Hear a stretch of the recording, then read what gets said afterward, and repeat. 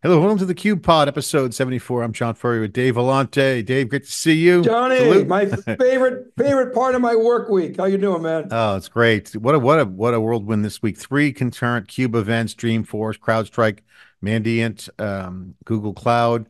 Also bought that company. Um, Kevin Mandia is going to a um, um, consulting role, uh, but Mandiant obviously doing great.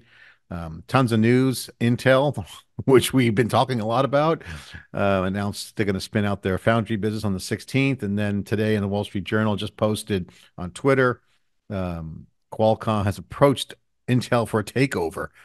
Man, talk about the tail wagging the dog, Dave. This is really Wow. a train wreck Wow. for Intel. So uh, you were right. 87 billion. You were right. You know, all the other analysts got it wrong. So um, you were right. So Well, again, Partially. They really haven't taken the full step that I'd like to to see, but hmm, it's a it's a half step. Andy Jassy this week brings the hammer down on remote work. That's going to be huge conversation. I shared a clip from 2020 where he talked about his philosophy was early indicator where his head was at. But you can see that going on there. That was big news. Um, Salesforce, tons of Agentforce, which is their big focus. Salesforce doubling down on AI big time. This is probably the most strategic shift I've seen Salesforce make in their existence.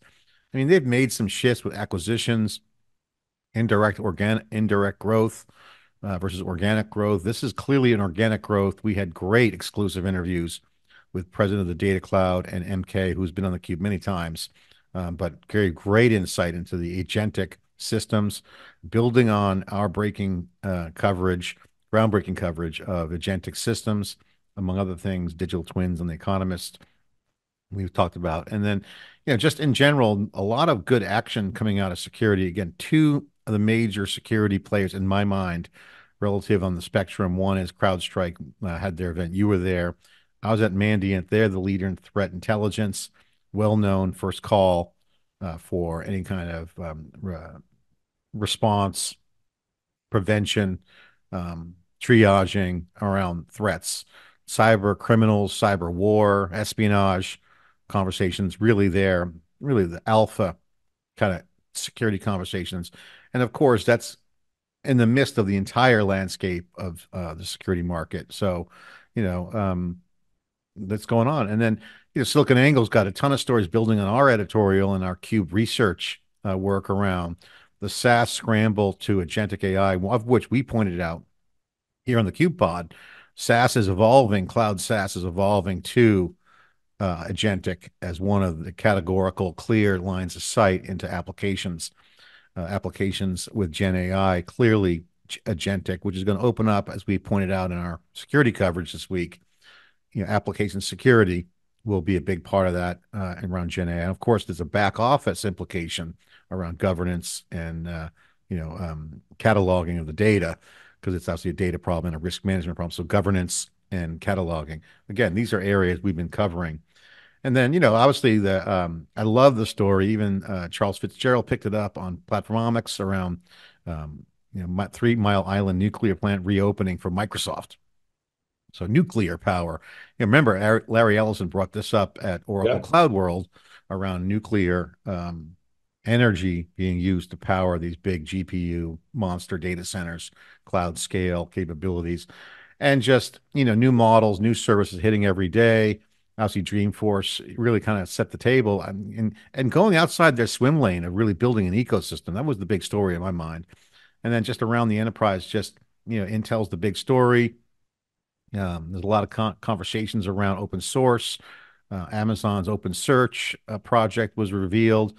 Um, IBM bought KubeCost, um, uh, a company in the Kubernetes ecosystem, obviously cloud native. IBM Watson X obviously also at Dreamforce.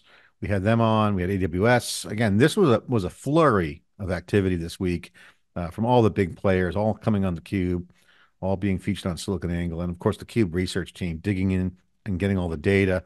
Um, really, really in, in, interesting week. Everything from the work environment changing back to the office with Andy Jassy's memo to AWS, as well as they're cutting all the fat, middle management fat um, that they've kind of bloated up to be and of course, you know, they're, they're obviously changing in real time. But Dave, the, the the the to me, I mean, it's Intel story continues to swirl. I know you're on it. What's your take of the news? Yeah, so- obviously the spin out found a foundry, yeah, and Well, so now the overtures from Qualcomm. Right, so let's share the, the, the, what Pat wrote in his memo, his blog, he said, greater independence for Intel Foundry. To build on our progress, we plan to establish Intel Foundry as an independent subsidiary inside of Intel. This governance structure will complete the process we initiated earlier this year when we separated the P and L and financial reporting for Intel Foundry and Intel Products. So this to me is the key line here, and it's telling. A subsidiary structure will unlock important benefits. It provides our external foundry customers and suppliers with clearer separation and independence from the rest of Intel. I'll come back to that. Importantly, it also gives us future flexibility to evaluate independent sources of funding and optimize the capital structure of each business to maximize growth and shareholder value. The former statement, one could infer from that that, oh, that's the problem that Intel Foundry is having. Nobody wants to do business with Intel because they're competitive.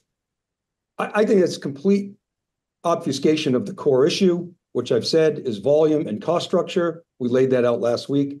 I won't, you know, repeat it in depth. Uh, I, think that is, again, smokescreen. The second part of that, that it gives us future flexibility to evaluate independent sources of funding, i.e., we're gonna need more cash. And this allows us to spin it out, sell it. You mentioned Qualcomm. Um, looking at, or actually, uh, let's dig into that in a moment, but potentially looking at purchasing Intel, Intel's valuation somewhere in the eighty to ninety billion. So this would be hundred billion plus to ac- acquire Intel. That would be a big nut. And, and I'm not sure it's the right thing, by the way. I'm not sure it's, it's, it's the right structure that the chip designer owns the fab. Um, I, I have proposed, I can't remember if I did this last week. I know I put it out on Twitter. And I had a little back and forth with Ben Bajarin, who had an alternative, but I said that Apple, Amazon, Microsoft, NVIDIA, Tesla, Google, Oracle, and possibly IBM should invest in Intel. They should spin out the foundry completely, change the governance structure, spin it as an independent business. These guys that I just mentioned have the balance sheets to fund it. Oh, by the way, also add in the US government should be part of that with the CHIPS Act dollars. They have the, the, the, the chops, the money, and the motivation to have, uh, you know, onshore, uh, manufacturing. Ben responded, well, they should just invest in Intel instead. And I say, no, I don't think the, the incentive is there enough if they just throw Intel a lifeline the way Apple did with Microsoft, Steve Jobs years ago. I think it has to be a much more structured, independent entity. Um, and then I'll tell you another, um, discussion I had with a Wall Street analyst. He debated with me that I don't think they need, we need to build um, advanced chips in the United States. Let's just do what Texas Instrument does and build old generation stuff and make the thing profitable and then worry about advanced chips. I totally disagree. I think you absolutely have to have a source of advanced manufacturing on the United States soil. Intel has um, at least designs on highly advanced manufacturing. One could argue if they can actually make it work to yield, it'll be the most uh, advanced in the world.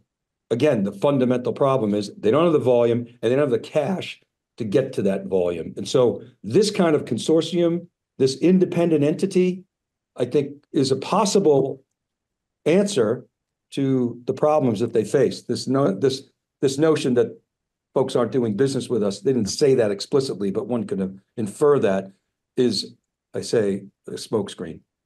Well, Intel in 2018 uh, was considering an alternative um, to Broadcom momentum by hostily pursuing Qualcomm. So, you know, table, tables have flipped. Um, that story came out. And the question is, is that I don't see Qualcomm buying Intel at all. Um, I just don't No. think they can swallow it. And I don't think they want to. I mean, I think that if I'm Qualcomm, I'm looking for the strategic assets, but I wouldn't want the core products or the foundry. I mean, I think doesn't make sense for them, but we'll see what they do. But I mean, I, I think um, I, I don't see Qualcomm um, buying Intel at all. You know, John, Al Shugart, famous Al Shugart, nobody knows who Al is anymore. Um, but he was a legend. You know who Al Shugart Yeah, is, obviously. course, Invented storage. the floppy disk and he was the like the top you know, disk, disk engineer, storage engineer at IBM. And, and then, uh, then one day said, F this, I'm leaving, set up shop, literally set up a table outside IBM San Jose Cottle Road facility and started signing up all the best engineers, popped them out. I think he took them over to Memorex and then he popped them out of there and started Shugart Associates, which invented the, the first floppy disks. And then of course Seagate, which is, you know, an iconic company, but he used to say to me, if you want to know, because he went on an acquisition binge when he was trying to save Seagate. They went, almost went out of business so many times. And he said to me, Dave, if you want to know if I'm interested in acquiring company, a company, ask me this question Would I take it if it were for free? And a lot of times my answer would be no. If my answer is yes, then I'm, I'm looking at them. And I would think, to your point, I don't know why Qualcomm would want Intel's Foundry, even if it's for free. It's just such a difficult business. And I think one company, particularly a chip designer owning it, is not the right uh, regime for Intel Foundry. Yeah, I agree. Uh, well, we'll be watching that again. This is just, you know, as you say, urinary Olympics. You know, would they want for free? That's a great way to look at it. I never never thought about that. Um, Intel obviously got the challenges. Um, but I mean, I think the big news this week, again, two couple things happened that jumped out at me was um, Salesforce. Salesforce has always been an insular kind of um, monolithic company. They've had a great community, um, great cloud, Salesforce, their primary application. But remember, they went on a binge of acquisitions and they have a ton of stuff. And what got my attention was um, the data cloud piece they're doing and the work we've been covering them on on the Cube Research. And uh, MK, who's the lead engineer, uh, executive over there, product and engineering, he's working with the president of the data cloud and they're building this harmonization layer and i think that it's super smart for them to go after the agent market and they call it Agentforce um, salesforce Agentforce because i think that is the application layer of the future as we pointed out last pod in great detail we actually laid out that at the top of the stack gen ai's impact will be at the application layer ultimately as the end users use it and continue to use agentic systems. Under the covers, the data layer is going to transform, and obviously the infrastructure is going to be that supercomputing that's been democratized from the NVIDIAs of the world and other providers like the cloud hyperscalers. That's the next gen. Those SaaS apps become agent apps. Um, out, outside of the other new apps that we pointed out, or scalable apps, I call them, um, those are the ones that are new. Those will be the new big powered apps that solve hard problems with a lot of compute, a lot of GPU, scientists, stuff that was old high performance computing or HPC.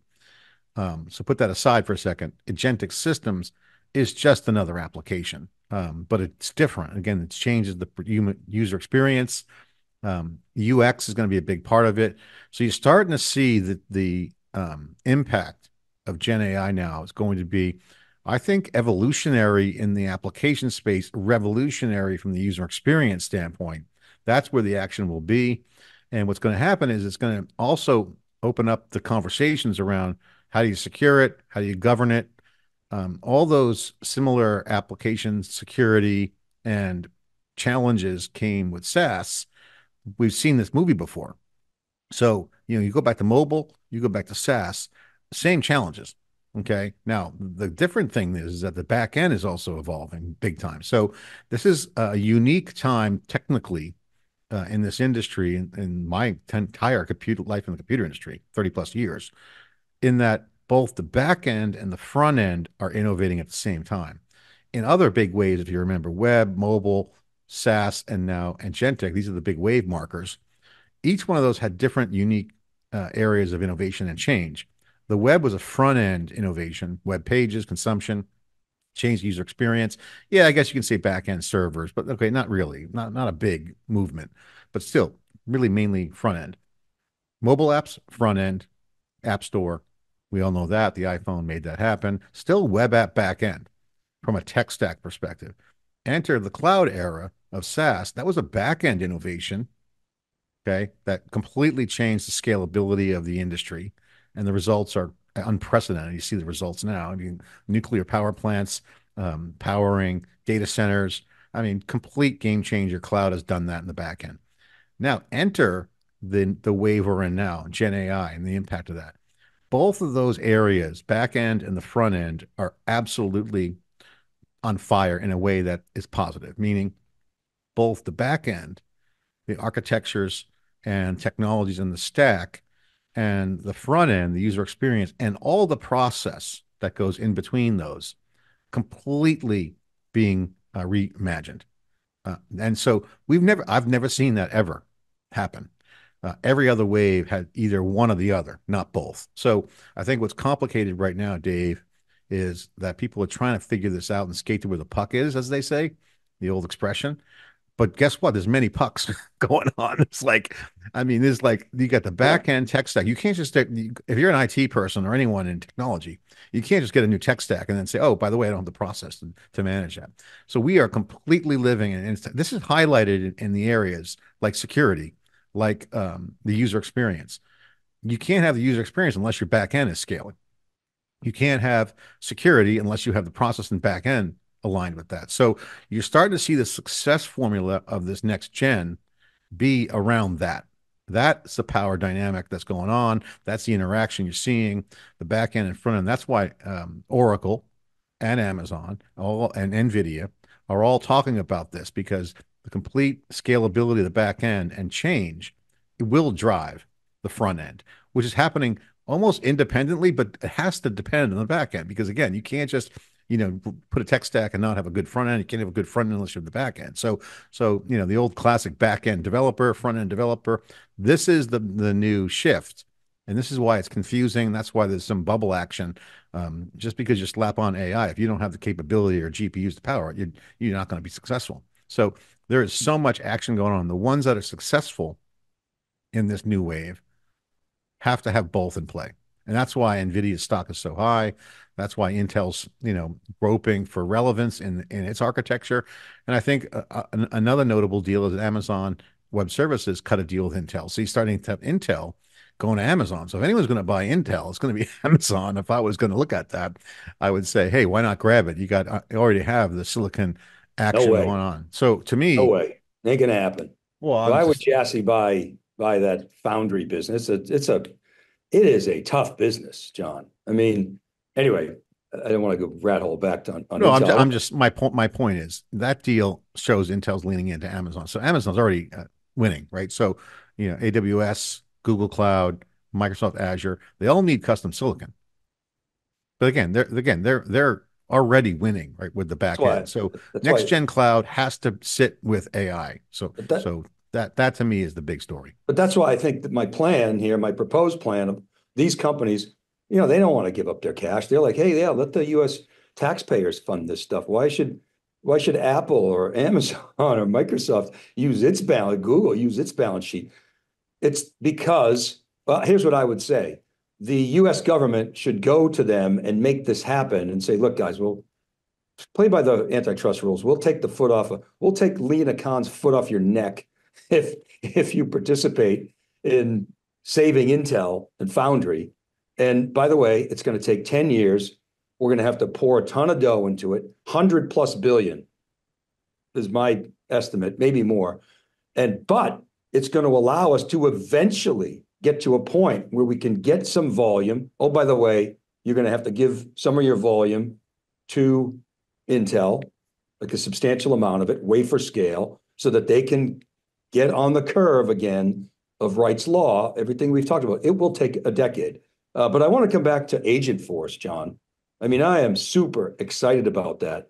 Uh, I think Benioff is right on. I think he's a visionary. To me, this reminds me of when Oracle did Fusion. So Oracle database company at the time. Uh, Charles Phillips, known then as Chuck Phillips, was an analyst at Morgan Stanley, and he wrote a seminal piece on how the software industry was going to consolidate. This is the application software industry, um, and and it did, but it did in part because Larry hired him, Chuck Phillips, now Charles, to actually affect all that consolidation. He brought in all these applications. They were all different, all disparate data, all different protocols and, and underlying technology. And Oracle took, I mean, literally a decade to build Fusion so that they could integrate all these back-end apps. And it's been a game changer for Oracle. It's got now very much, you know, some of the most integrated uh, software application software technologies out there. I see agentic as a similar effort. You mentioned the data cloud, you mentioned the harmonization layer. Uh, there's an orchestration component to this. There's a management of all those agents. The, I, this is to me more than just a new application. It is the new application stack because what's going to be different this time around when you think of things like microservices and even um, service orientation, service oriented um, uh, architectures, SOA, you can invoke these services as you need them. They're static services, however. Microservices are hard coded. Agents are going to be able to unlock all those pieces that haven't been able to be coded. It's going to take some time. This is this is futuristic. But agents will be able to observe human behavior and then eventually respond to them in ways or or or act uh, in ways that mimic that human behavior. Whereas before with microservices, you couldn't necessarily hard code every little you know process in a business. You're going to be able to automate much more with agentic. And I think Benioff is onto something. He's a visionary. He's a baller. Uh, he's a philanthropist. Uh, and you saw it firsthand at Dreamforce. And the other piece of this that's really important is these agents are going to be able to interpret and, and be governed by top-down goals. There will be top-down goals, top-down metrics. And think of a, a tree, some kind of hierarchy that says, okay, here's the top level goal, gain market share. And here's the strategies and the tactics that we're going to use to do that. We're going to build new solutions. We're going to optimize pricing. We're going to launch new programs. And then beneath that are all the details around that. The agents are going to be governed by those top level metrics and then they're going to be able to to to to deliver a bottoms up outcome. And the reason why this is so interesting is because within salesforce's estate of all the applications that it controls salesforce and slack and mulesoft and all the other components of its of its stack it has the business logic it has the data and it has written as you point out it's done the hard work to write that harmonization layer. It's still, you know, early days. It needs a lot of work. Uh, but then all the data is in the data cloud. They have that harmonization layer. I've made this point before, so that revenue actually means revenue. It doesn't mean ARR, doesn't mean bookings, doesn't mean NRR. Revenue means revenue. So you're not arguing about where'd this data come from. It's all harmonized. And that is, I think, the future of the enterprise application stack. Yeah, and I think the business side of the equation that Salesforce has is huge. I wrote a big research note on this. I wrote uh, two of them last week on the cuberesearch.com. Check it out. Um, many deep dives specifically around um, this harmonization layer. I think Salesforce has a good opportunity to, you know, you know, change the business landscape conversation around this um, as it goes through this uh, shift with generative AI to customize. I mean, my my key points were from the from the data we had is customization, personalization is going to be huge. Um, the sales data cloud is going to be two areas, two cloud areas that they have been working on um, specifically to get value. And and Salesforce always had the reputation of being siloed, but Gen AI and, and agents allow them to build an abstraction layer to you know uh, enhance the operations of these systems and make it easy to use. Now remember Salesforce has a huge community, and like I said, they've been very monolithic. The big story coming out of their their their event Dreamforce is they now have to have a ecosystem. So you're starting to see classic ecosystem we would see at big winners like AWS uh, and Google Cloud and, and others, where you start to see independent software developers, uh, solution providers come on board, where you have to have non um, Salesforce product meaning third party integration. So, you know, the, this is going to change their service cloud and data integration, which I did a separate research research note on, really is the key. And I think unifying the data sources and leveraging advanced AI capabilities will be their opportunity. And if they can build that platform Agentforce that integrates um, data from various systems to give that comprehensive view, that'll enhance decision making and ultimately provide more sales to companies because now it's not just about the sales motion and the data of a system of record, which they basically are. They can bring some of the UX skills they have with their Trailblazer community to the table. Now, their events have always been like, oh, you get the Trailblazers and you got Salesforce. It's a money machine. Stock's always great. It's uh, never down. It's always a, a good long play stock. But now, you know, with the with the Gen AI, they can incorporate the data cloud as an instrumental piece to their business. Get the language models in there, get the multi-model foundation models to bring relevant content to both salespeople and business decision making. This is a new opportunity to go beyond the sales category, bring decision making into the equation, get that data grounded, um, and it's proprietary data in their system, bring in third party ecosystems, and enable automated workflows. This is going to be very conversational input. This is going to be the future. And I think MK, the interview we did with MK, uh, he goes by MK, he's the head of it. This will power not only uh, connecting and unifying the data, but think about think about Salesforce. They have MuleSoft. All those acquisitions that was once uh, an Achilles heel for them now is a competitive advantage. Yep. This is huge. And so, I think that's that's the to me, if you peel back the onion, Salesforce, again, this is why I think it's a, one of the most strategic moves they've ever made. They've made a lot of moves. Oh, we're announcing this because Benioff is a visionary. He's usually viewed as a fashion guy. Hey, you know, it's fashionable, the shiny new toy. This is legit. Okay, because there's real dollar impact on decision making. And if you can get Salesforce to to do that, get the guardrails, get the governance in place, and get that data harmonizing, that is huge. And I think that is why I like that this movement because one, it opens up an ecosystem. You get more people participating, more data comes in. It's a power law like we've been putting out, and it, it allows them to expand their existing app portfolio and make it relevant and make it valuable. So, again, this is a huge opportunity for them. Um, this could be company shaping, Dave. Again, the future apps are agentic, the agents and sub agents, as we've covered with the Cube Research, you and George Gilbert, whether digital twins and other simulations uh, Gen AI will certainly change the game. Uh, the, so, only, the, only, way they can, they can screw it up, in my mind, is by not delivering. I, I, well, that's execution is is is critical. Uh, but I would say this: the integration piece, I think, is aspirational right now. I think they got plenty of work to do internally to actually. When Mark talks about making this work, I first of all, I love the Clippy uh, quip. Uh, he likened hmm. uh, Microsoft's agent, their co-pilot, to Clippy. Uh, remember Clippy? We all, well, many of us remember Clippy, the, the little help thing on Microsoft Windows, which was horrible. Um, but he's right in the sense that single agents, they're not, they're, they're not the thing. They're the co-pilot. That's one agent, eh, uninteresting. Multiple agents, and I tweeted this at him, um, is I like the Clippy. I love it, actually, the little, the, the little slap at Microsoft, but the real interesting part of this is the hard work that they've done. You're talking about the harmonization layer and and the other tech. There's some real engineering here.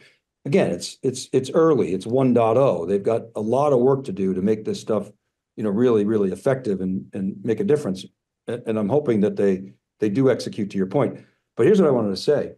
The third party thing is interesting because imagine you're one of these modern data stacks like a Snowflake or a Databricks and you know, you, you're building these data lakes and your hope is that people are going to build apps on top of them, data apps.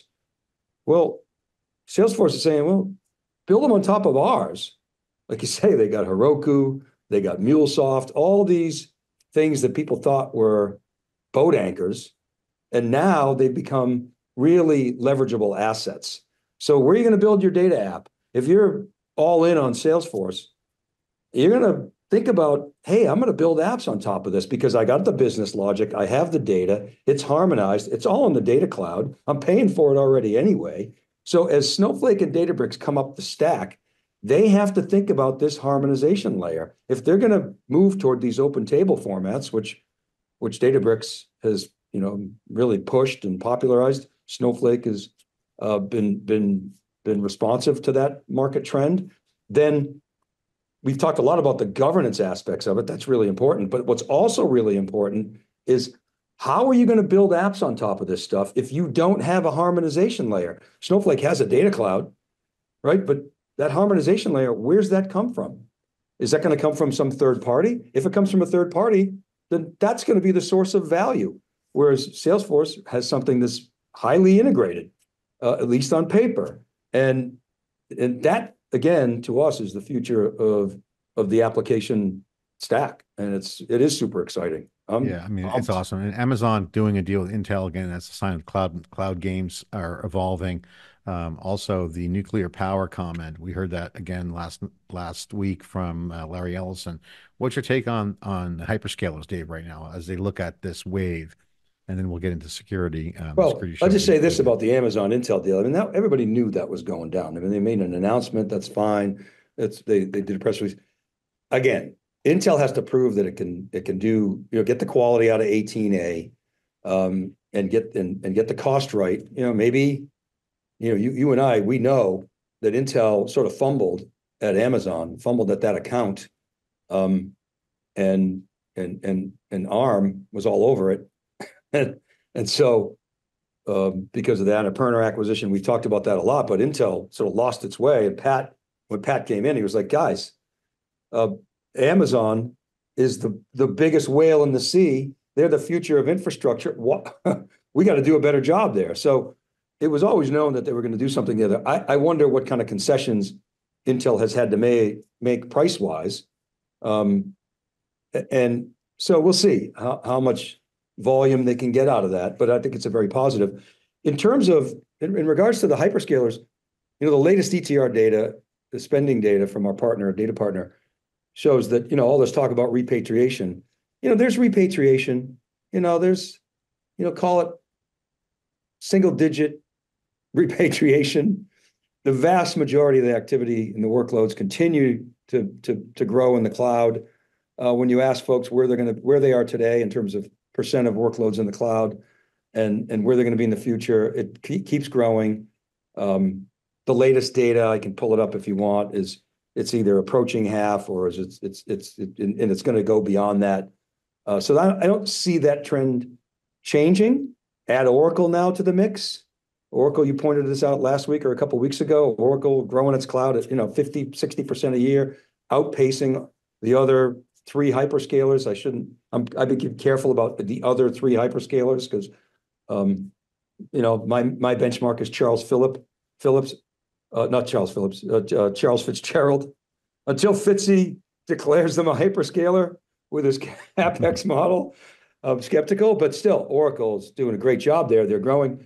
So my point is that the, the public cloud is clearly continuing its breakneck pace at what will be a two hundred billion dollar business this year, growing at nearly twenty percent. And that is pretty astounding. Having said that, you know, the on, on-prem guys are getting it together too. You know, you see Dell um, with some business momentum, HPE, you know, Oracle still has a big on-prem business. So, um, you know, spending is still not where we'd like to see it. It's still maybe a point ahead of GDP. Maybe even it's even trickling. Expectations are trickling down a bit. Um, so until AI stops stealing from other budgets and starts throwing off some cash, as we've talked about, I think that macro climate will stay constricted. But you know, in the Game of Thrones, cloud continues to win. Interesting. What do you think about the uh, Andy Jassy uh, memo that came out this week on uh, returning back to much- the office? You know, you know how much we love Jassy. Uh, well, we should set up what was announced. Basically, they announced that you, by in January, uh, January third, I guess, you got to be back to the office full time, five days a week. I was surprised. I thought they would maybe go to four days a week. I think the big question for a lot of Amazonians is, well, wait a minute, I'm I've been remote, so they have a, a rule now that you have to badge in three days a week at Amazon, but they have exceptions for remote employees. It's very unclear what happens to those remote employees. Do they have to move or leave? You know, we don't know yet. And so I, I don't know. I, I, I'd love to know what you think, John. I mean, I think it's, um, I get it. I get why they're doing it. I, I do feel it's a little bit draconian, uh, maybe by design. I mean, I think, I mean, I, I cut a, I cut a clip out from a Cube interview I did with Andy when he was the CEO of AWS in 2020. He shared some of his sentiment around virtual events. Um, he's always been a big, big believer of face to face. And, you know, if you're project based, yeah, I think working at home is key. If you have a, a company that requires talent um, and acquiring skill with the skill gaps problem we have, um, you need to go um, remote. If you're like, say, a cybersecurity company, um, it's hard to get people, and they like to work remote, and they're that's what they do. If you're a business that requires collaboration and invention, which Amazon and Jassy live by that ethos. They want people on whiteboards together. They want, you know, the face to face. It's important to their culture. And that was the big point of his note. Of course, people took him to task and saying, hey, you know, he's it's not what we want. Um, but the reality is, is that that is their culture. Now, one part of the announcement wasn't just going back to work. He acknowledged that Amazon's gotten the middle management um, fat, and he's going to cut that. He's going to have change the direct reporting structure. He's going to eliminate the middle management, and they're going to eliminate meet, pre-meetings about the meet pre-meetings, which we know we hate, and everyone hates having a meeting about the meeting. Um, and he wants to go back to the uh, original formula for AWS and Amazon, which is, you know, we have the the exercise of working backwards, and also let's get into the room and debate and align, and then work and together as a team. So to him, this is absolutely a cultural issue. Uh, I think he firmly believes, as do I, that you know that's key. Now, personally, five days a week. I mean, I think the compromise and I think a good solution is, you know, give a little bit up on that. I mean, I think you can you can still be successful by balancing that. Notwithstanding that specialty of skilled employees. I mean, I would much rather have better employees that are super talented and that work remotely than uh, a lot of people in one place. So I think you know it's going to be interesting to see how this works out. I think clearly from them it's really more of a testament, and sometimes it's something hiding in plain sight, like okay, layoffs, cuts. Um, you know that came up a little bit in the conversation. I don't think he thinks about that as a primary first principle. I think Amazon's first principle is we're customer obsessed, we're builders, and that we try things, we kill it fast, we double down on it. Um, um, do the undifferentiated heavy lifting. But he clearly believes that it's a better environment if you're working together on teams uh, in, in in a physical location. And so they're they're making people choose. And they and he even said we're putting our relocation behind. This is not a it wasn't designed to be a mass layoff. This is designed for really worker productivity and eliminating bureaucracy. And he, he even said, I got a mailbox. He's going to be reading emails. And he called his employees and said, Hey, you know, if you see waste, uh, you see areas that have become uh, bureaucratic, my, my word, I don't think he used that word bureaucratic, email it to this address, email box, and he's going to read it and he's going to take uh, suggestions. So, you know, I think he's he's saying all the right things, but five days a week, Dave. I mean, come on, that's a little bit over the top. But I'm I'm not running Amazon, so um, I'm I'm not super critical of it, and I get why he's doing it, and I think I'm think it's fine for Amazon's culture. You don't want to work there, then don't work there. Yeah, I mean, I, yeah, I, I kind make, of agree, John. You can make a lot of money on Amazon if you're an employee. They give RSUs out generously. Uh, so, you know, I mean, Amazon's not a not a place for the faint of heart, right? If you have a side hustle yeah. and you're trying to, you know, fake it till you make it, and uh, you're not gonna you're not gonna survive there. I, I mean, a part of me really does agree. With, I mean, I come to the office every day, and I like when there's people every day. Every now and then, I'll I'll work, you know, remotely, but I much prefer being in the office. Uh, I I find that I'm way more productive I think, you know, during the, the pandemic, people were saying, wow, it's so much great productivity here. Um, I, I, think part of that was sort of a sigh of relief that they could stay in business. I think the other part is, you know, maybe they they for for uh, held off, you know, spending money on new plant property and equipment, and particularly facilities. Uh, but I agree. I think at the end of the day, if you have a whiteboard uh, for many roles, certainly engineering, um, sales, marketing, of course, sales you want out in the field as well, but but in the go-to-market, um, certainly a product, uh, certainly strategy, you want people in the office. Um, but I still think there are roles that can be very effective remotely. You know, Dell, I think, has an interesting balance. Dell, right after the pandemic, was like, hey, bring your best self, work wherever you want. Kind of a year later, they were like, yeah, mm, it's time to come back to the office let's go. And they mm-hmm. said, three days a week, you got to badge in.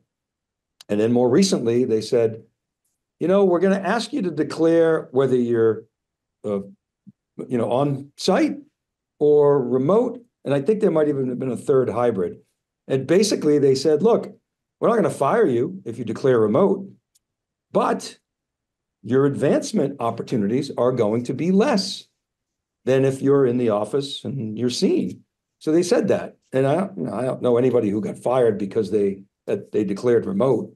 And I do know, even though Dell recently had some layoffs, I do know several people that were working remote that did not get laid off.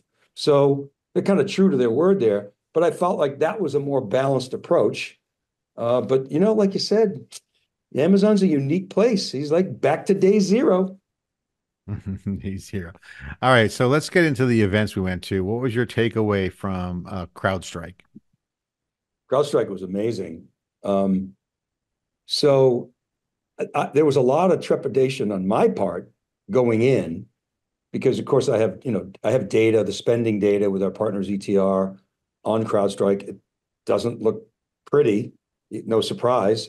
CrowdStrike has had to reset its ARR expectations, so they've acknowledged that.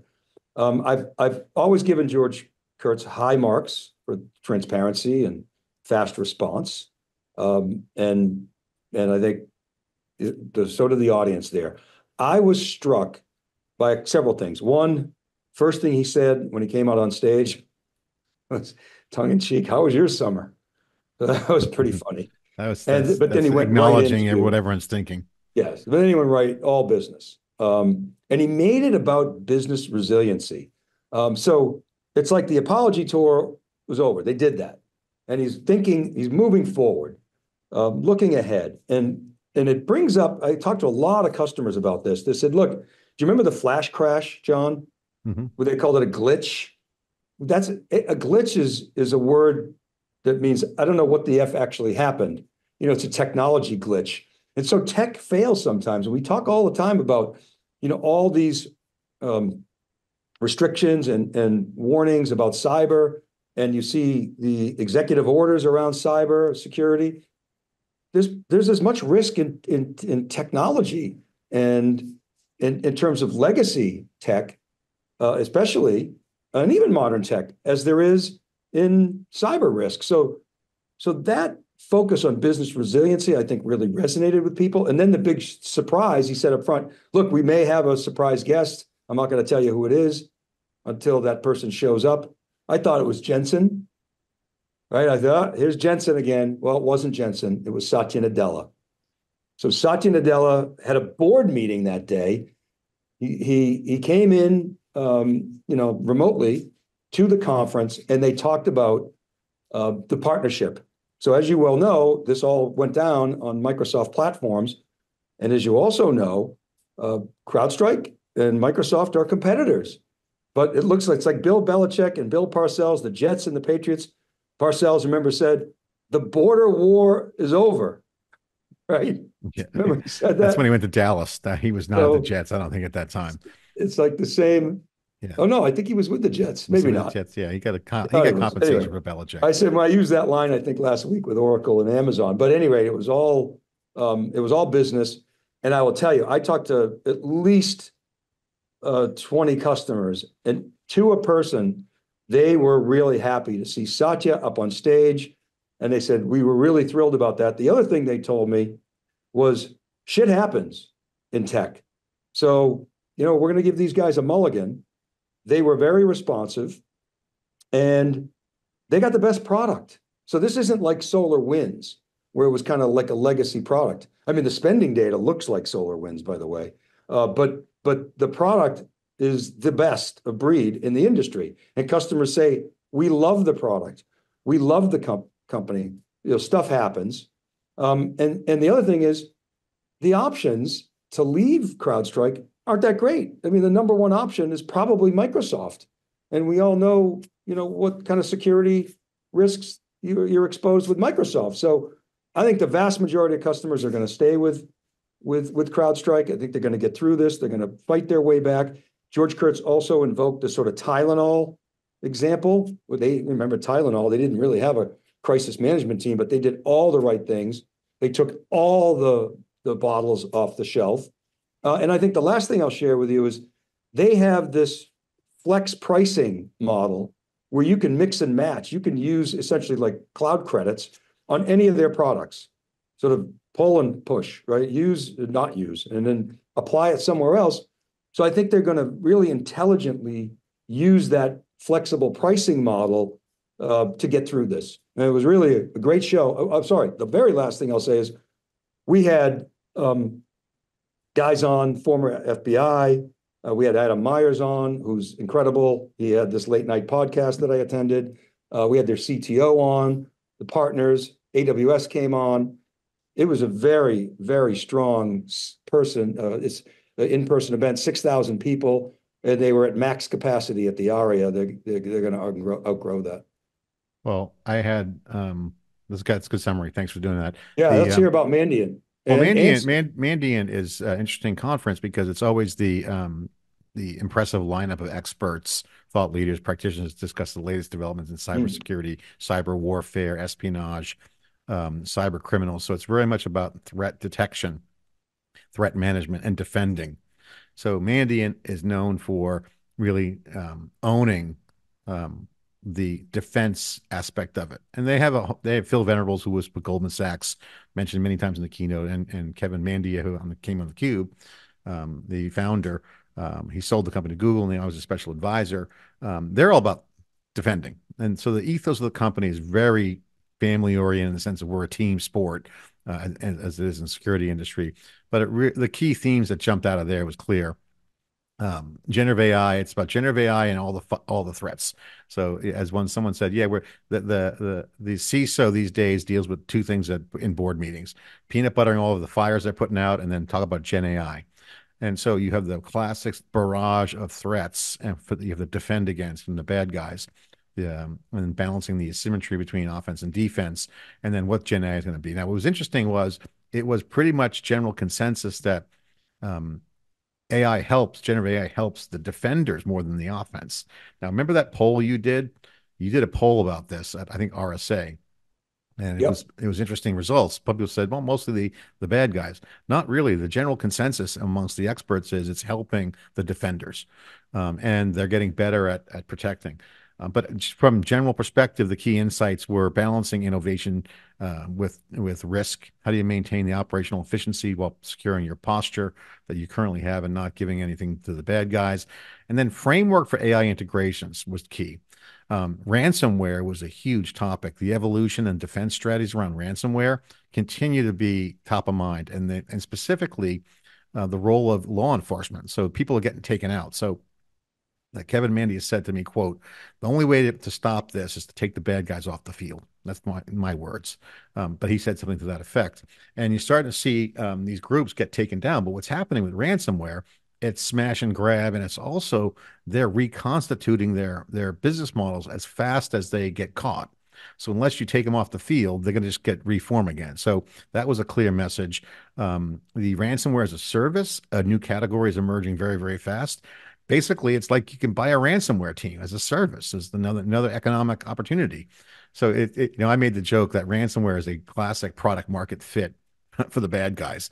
It's just getting better for them. And what's interesting is the the average um, sale if you will the average ticket price of a ransom has gone up to over a, to averaging about a million and a half healthcare in particular is highly targeted. So that that was a huge conversation. I was actually surprised that ransomware was as, still dominant in the defense side of it. Oh, yeah. now totally. now n- ransomware is not a is not a dwell time issue. So espionage and the criminals uh, are are starting to form lines. The ransomware side is they get in there and extort right? Get the data out. And in some cases uh, not even encrypting the data. So not in, they're not even breaking the data. They're just stealing the data and then uh, filtering it out as fast as possible, smash and grab, and then sell it back or sell it to somebody else. So getting the data is really the ransomware game. So you get the extortion piece of it, ransomware, where you lock them down like a healthcare organization where people are dying, um, which came out by the way. And then two, forget encrypting it. It just cost that's cost of goods sold to them. I just got the data. I'm going to sell it. So so smash and grab, either lock them down, extort them, or extort them through the sale of the data. So all about getting the data. On the espionage side, you start to see things where they get in and they, they move around and they get lateral movement, and then they want to essentially stay in as quietly as possible uh, until they um, are found, and then they hide. They go in uh, on espionage side, they're going into critical infrastructure and causing disruption and chaos, and, and mostly Chinese uh, espionage going on, and they're hiding, waiting for as like a like a zombie cell, like a sleeper cell, waiting for the call in case of some action in say Taiwan. So, so say the U.S. goes to Taiwan, um, they'll activate all their sleeper cells, so to speak, and that's what's happening with espionage. So, to me, China, huge piece of the puzzle there. Um, so that was the interesting. Again, that's some national security implications. So again, Mandiant's always involved in all these things, and Kevin Mandia has always been a hawk on this. So love what he does, and again, Mandiant does a great job. So ransomware and then also espionage was two of the big cyber security threads, uh, and then just in general, generic, um, more broadly around the cl- industry, you know, securing the cloud, shared responsibility, shared fate. So in other words, take accept your risk Someone has to, in an organization, accept the risk. That was a key point by Kevin Mandia. Accept the risk, accept accept accountability, and then be prepared to talk about it to the board. So this set it and forget it, not happening. You got to have that shared responsibility and the, the evolution of uh, the operations centers, security operations center, SOCs was another discussion. And then the big trend that came out of that show was the UX side of it. And obviously Google's got Gemini. Gemini is providing great benefits with generative AI. And what's changing is the operational efficiencies around how to consume the data, how to consume the defense threats, how to remediate, how to isolate, how to triage. So Mandiant's AI and security operations was highlighting that the UX is a big part of it. So you're going to see security operations and SOCs become much more, um, I guess, seamless and much more, you know, consumable to be better productive at the job. So, you know, um, you know, the key takeaways: proactive AI security, rethink ransomware defense, strengthen the cloud security posture, enhance your threat intelligence programs, do more red teaming. And I think you know when they look at that, that is going to be a big deal. You heard a lot about that. Most companies can't even be prepared for the putting a stress test on things like recovering and cyber resilience. Dave really shined in this in this event, and and I think um, the big point there was you got to learn how to recover. And they were kind of talking about the recent CrowdStrike events where, you know, recovery is not possible. And most of the red teaming, when they simulate red team is the, the, the good guys pretend they're bad guys and they try to, to break in and do those things, whether it's consultancy or their own teams. They don't actually red team everything. They don't red team a what he calls a red lever event, Kevin Mandia where you pull the red lever when okay, now get back online getting off off off the internet, for instance. Most companies can't even like say they're being attacked, can't like unplug. That's huge. I mean, think about that. Our biggest companies can't unplug if they wanted to. So again, that was the conclusion for me. It's the state of the future of cybersecurity, and again, probably had some of the same themes that you saw. Um, but yeah, that was pretty much the net net of it. That's that that was my takeaway. I, I, want to share some other data. I, I like what you said about dwell time doesn't even matter anymore. And um, that's a really important point that you're making. CrowdStrike shared in its threat hunting report data that said last year, the breakout time, breakout time is the time it takes an adversary to get in and then start traversing the network horizontally, laterally. Um, the the last year the breakout time was 63 minutes and the fastest the world record if you will was like seven minutes. Uh, this year it's down to 63 minutes and two minutes is the the record breakout time. So it doesn't matter how long they're they're there dwelling it's irrelevant now. It's like your speed to be able to detect and respond ideally keep them out but you can't always do that. Um, so that was really important point and to your point dwell time, you know, doesn't matter. Yeah, I mean, dwell time again. It's dwell time is a different cyber criminal thing. It's mostly espionage, and and or um, exfiltration of data. So you know, dwell time for browsing, like where am I? I go navigate around. And there, you know, Kevin Mandiant's message was, you know, lateral movement's critical. That's a, a theme that's been around for a while. Um, but you know, lateral movement is something you got to detect. And again, this is where all the all the vendors are playing well in. Um, the ecosystem actually at mWISE, which is Mandiant's conference name, also was there. You had um, you had Trellix, you had a bunch of companies in there coming in and and saying how they're working with Google AI. So Trellix has has a great product. Uh, Sentinel One was really standing tall with their Purple AI, which is getting better and better. I thought that was pretty compelling. Um, and just in general, um, you know, the people themselves were like, "Hey, you know what? We're going to continue to dominate." And you had you had all kinds of people talking about that, even Price Waterhouse Cooper, but we had mostly Google Cloud folks on, uh, threat intelligence, um, how to use generative AI in operations. So again, UX again was my big takeaway from from that event. I think the UX piece, back to my earlier point about front end, back end process management. I think that to me is key in, in security. And the and the other notable point was, and for me, it was a dot that connected it big time was is that that when you look at when you look at some of the things going on, application security paradigm is where Gen AI is going to all the action in Gen AI. So all the work on application security that's been done in the past is kind of where Gen AI will fit in. That seems to be the discussion amongst the experts. And I agree with them. It's, it's part of the agentic systems. The agents are going to, it's a new feature of the application.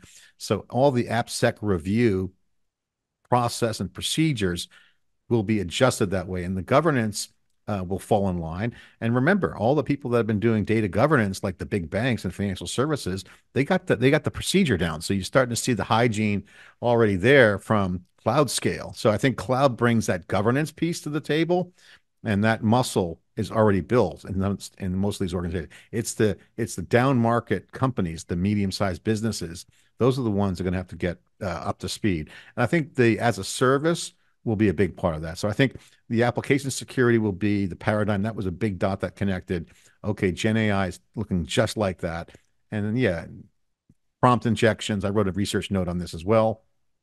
Prompt injections, um, training poisoning so training data being poisoned early on, it's like getting at kids, you know, hey, you want to smoke some cigarettes? You know, it's like bad stuff can happen in the training process. So prompt injections on on Gen AI from a runtime perspective, and then uh, uh, training data poisoning, uh, the two big areas in Gen AI, and then finally the data, um, the valuable data in these models. So I think those are the three areas in Gen AI that were most talked about. And again, I put that in the research note before the event, ended up becoming a key talking point throughout the event. So, so a couple Gen, things in Gen AI, that's where the action is. So a couple things. One is you've been crushing it on the research. Go to thecuberesearch.com. Uh, John's, I think you put out, you know, five research notes, detailed research notes, not just like puff blog pieces in five days.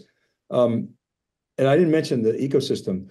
Uh, ecosystem at CrowdStrike's growing. It reminds me of ServiceNow back in the day where it was small but really starting to grow. We had Zscaler on. They announced some integration with CrowdStrike. CrowdStrike uh, announced a while ago Next Gen SIEM, uh, where instead of going out pushing into a SIEM, people were like, "Well, you got all this data already. Why don't we just push data into CrowdStrike? Keep your data there. We'll put other data in." So um, Zscaler um, was was there and came on the cube with that integration announcement. Uh, Cribl, same thing. Know, I love Cribl. Cribl's like the way I, I said they came on the cube, and I said, I think about my home. I got a ring. I got like a SimpliSafe. I got Google Home. I have all these different apps. Some I don't even remember. I got a generator app. I can't even find the damn thing on my phone. And Cribl sort of brings all that data together, pumps it right into their next gen SIEM. So Cribl came on. Accenture was there. I always joke the GSIs love to eat at the trough. So anytime Accenture shows up, you know, there's big business there and AWS was on as well um, as a premier uh, partner of, of CrowdStrike. So the ecosystem, glad you brought it up, super important uh, in all this. Yeah, and again, it's all good. Again, we're going to continue the coverage. We got more events coming. Um, we're gonna we're gonna continue to rock. Um, just in general, just a very durable week for us on the Cube. Three events, um, and take uh, some time off, a couple hours today, and hit the gym. Um, and uh, try to try to stay in shape. But yeah, I'm just a busy week, and again, this fall season's upon us, and I'll be pumping out research notes. Uh, I'm going to be uh, actively converting a lot of our data we get from the Cube and our Cube research team online, and all of our other analysts are, are growing, and of course, the Cube Collective, Dave. We had two new additions to the Cube Collective, um, so you're going to start to see that grow. Um, the collaboration, the open source model of the of SiliconANGLE Media, SiliconANGLE, the Cube. Um, Cube Research, and of course our technology platform with uh, the Cube 365 and the Cube AI has been phenomenal. So, one of our newer analysts, Scott Hebner, just texted me. Uh, he's he's just as we speak putting up his first research note. I I read it last night, made very few changes. I mean, it was awesome. Scott, former IBM executive, and is technical. So he's writing about AI, causal AI, gets into agentic, explains how things work. Something I didn't know. I learned this reading his post. If you take a string, like a random string of say 19 characters, and you copy paste it into a an LLM and say, how many characters in this string? Many LLMs, if you have a 19 character string, many LLMs will come back and say, oh, there are 20, there are 21 or 23. They can't count. And he explains why. now, I did the test. Um, ChatGPT failed except for the newest version. Perplexity also was successful. Um, Llama consistently failed. Um, and Claude consistently failed. And I, I don't pay for Gemini, but um, but so that was kind of interesting, and he explains that in in easy to understand but technical terms. Um, so I'm really excited to see his first post, and um, yeah, so we keep growing. I think we're up to nine analysts now. No, eleven. Are we eleven? Eleven analysts and thirteen Cube collective. So um, now 24 analysts contributing to our open source uh, research, um, continuing to thunder along. We added Randall Hunt, who formerly with AWS. Uh, he's awesome. He's very technical, so it'll be great cloud coverage. Jackie McGuire with Cribl. She's a strategist and um, at Cribl, so she's doing a lot of work. She'll be chiming in, doing some cube interviews. So, and of course, you know, the rest of the um, cast of characters are also contributing from Sanjeev Mohan, Sarbjeet, Zeus, Tony Baer, Joe Peterson, Howie Xu, Bob O'Donnell, Merv Adrian, Betty Janode, Adrian Cockcroft, Merritt Baer, all the rest continuing to add value uh, for the community. And of course, Scott Hebner, you mentioned, Savannah, who's really done a great job of bringing on devices and uh, the AI PC. You'll see a lot of coverage there. David Linthicum's doing great. Obviously, David Floyer's work is phenomenal. Semiconductors with you and um, covering all that. So it's all all good, Dave. So we'll continue. The Super Studios getting a lot of attraction. We had Equinix in earlier today. That was fun. Um, and other companies, you can see a lot more content coming out of the Cube. Um, all all that converted into data with our new platform. So continuing to, to add that out, and you see a lot more high frequency insights coming up from our, our team. So if you're listening, check out thecuberesearch.com. Of course, SiliconANGLE on, with Rob Hof and the team. They're they're crushing it. The flow there's phenomenal. Relevant news, all all subsidized by the uh, profits we make on the cube. So you support the cube, we appreciate that. If you want to text us and DM us, hit us up. We're all channels are open, and uh, all having having a fun time. Thanks for. Uh, are are you at NYSE next week? I'll be in New York next week doing interviews with uh, Brian Bauman and the team. Trinity uh, Chavez uh, will be there. I'll see them. I'll maybe do a hit with them, but I'm going to be doing some cube interviews in our studio there. We're going to keep that rolling, keep the the fire burning as we start setting up for next year uh, with our studio there. So uh, if you're listening and you want to, you're in New York, you want to come by and and and uh, talk tech TV on with the Cube, let us know. All right, Dave. That's uh, I think we're at time, and have a great weekend. Good to see you. Looking good. You're still getting raised there. Look at a good tan going there. Uh, that's the. It's getting dark here. We get we got we got the storm coming in. All right. Well, um, thanks for for listening, everyone. Again, hit us up um, you want to hear different content, let us know. We're always open minded, involved in the pod. This is episode 74. I'm John Furrier, Dave Vellante with Cube. Thanks, everybody.